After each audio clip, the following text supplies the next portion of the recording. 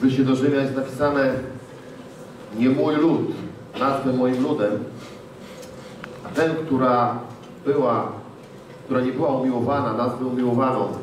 Wielokrotnie czytałem te wersety i zawsze odbierałem je jako tą Bożą akceptację dla człowieka. Zawsze uważałem, że przede wszystkim werset ten obrazuje łaskę Boga. Ale kiedy ostatnio to przeczytałem, zrozumiałem tam jeszcze jedną bardzo ważną kwestię. Lud mój, nazwę, lud, nie mój lud, nazwę moim ludem. A tę, która nie była umiłowaną, nazwę umiłowaną. Przecież to jest najwyższego rzędu wzór ruchu wiary. Bóg nazywa rzeczy inaczej niż jest ich stan w danej chwili. On je inaczej nazywa. On na zbuntowany naród mówi mój lud. On na ludzi, którzy nie byli w przymierzu Abrahamowym, mówi mój lud. Co on robi? On proklamuje słowo wiary. On nam daje wzorzec. On mówi, że ta, która jest nieumiłowaną, czyli która nie spełnia żadnych uwarunkowań miłości, będę nazywał miłującą. On mówi coś innego niż widzi. Mówi to, w co wierzy. Bóg mówi to, w co wierzy. Dlatego Jezus powiedział, miejcie wiarę Bożą. Miejcie wiarę Bożą. Bóg jest pierwszym promotorem wiary. On przez wiarę stworzył niebo i ziemię. On wypowiedział słowa i powstała rzeczywistość. On wypowiedział wiarę. On jest dla nas wzorem.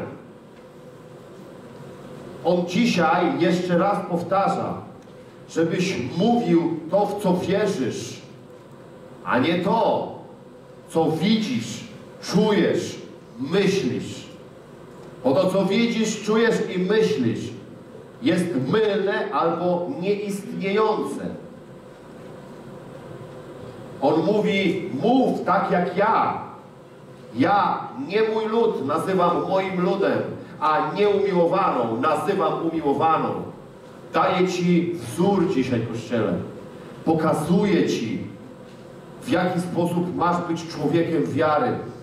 Jak będziesz dziś się modlił, powiedz, Boże, ja nie będę patrzył moimi naturalnymi oczyma na to, co mnie otacza. Nie będę się skupiał na tym, co czuję w różnych sytuacjach. Nie będę analizował i na tej podstawie wyciągał ostatecznych wniosków. Ja będę mówił słowo wiary. Ja będę brał Twoją prawdę i ja będę ją wypowiadał nad swoim życiem i życiem ludzi, którzy są w moim autorytecie, nad środowiskiem, w którym żyję. Ja będę wypowiadał słowo wiary, bo będę brał przykład z Ciebie. To jest uświęcenie, branie przykładu z Niego, pozwalanie na to, żeby Jego wzór wpływał na nas. Jego wzór. Tak się dziś módl. Ojcze, wywyższamy Ciebie. Ciebie, który jesteś promotorem wiary, który pokazałeś nam, w jaki sposób mamy wierzyć, który pokazałeś, w jaki sposób mamy mówić. Wywyższamy Cię, wielki, potężny Boże. Postępujemy dzisiaj zgodnie z Twoim wzorem, z Twoim wzorem. Uwielbiamy Ciebie, uwielbiamy Ciebie. Halakata, kodo,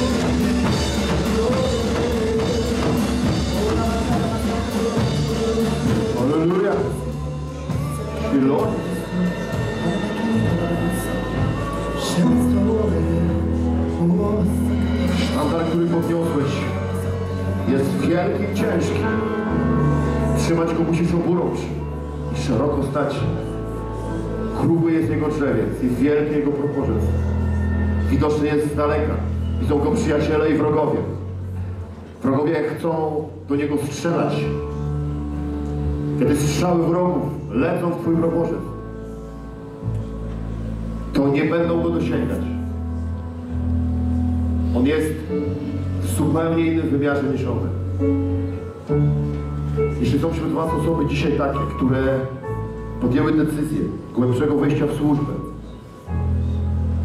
zdecydowałeś się, że robisz gdzieś krok dalej w służbie, to to jest moment dla Ciebie, to jest ten czas, to jest wyłom teraz dla Ciebie. Przejdź przez ten wyłom. Zdecyduj się na to. To jest krok w nieznane. Krok w nieznane. Ale przejdź przez wyłom. Jest otwarty wyłom dla Ciebie. Dla każdego z Was, którzy zdecydowaliście się, że chcecie iść głębiej i dalej w służbę Królestwa. To jest wyłom teraz otwarty. Taki jest czas. Teraz jest ten czas. Halleluja. Ojcze, Ty widzisz wiarę ludzi teraz. Ty widzisz wiarę ludzi. Widzisz wiarę ludzi. po' le glorie della secca calare cioè mare da sé la Gesù. Oh in amassilare l'are della secca alleluia.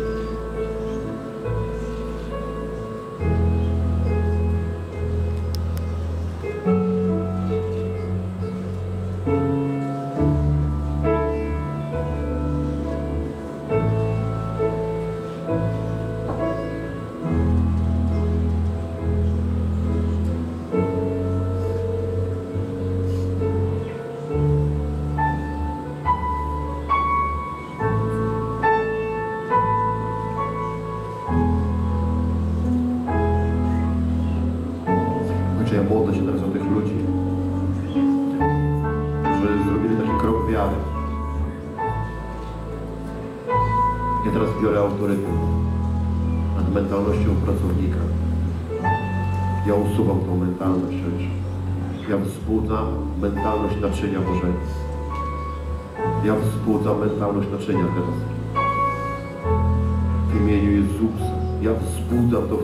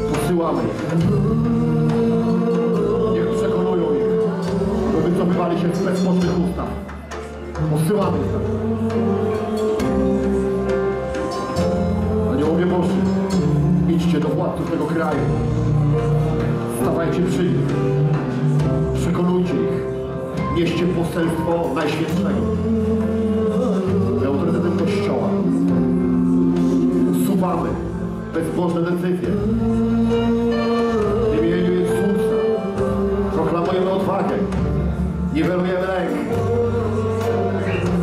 Usuwamy zwiedzenie. Przeklinamy kłamliwe duchy. Twoja jest władza, Jezus.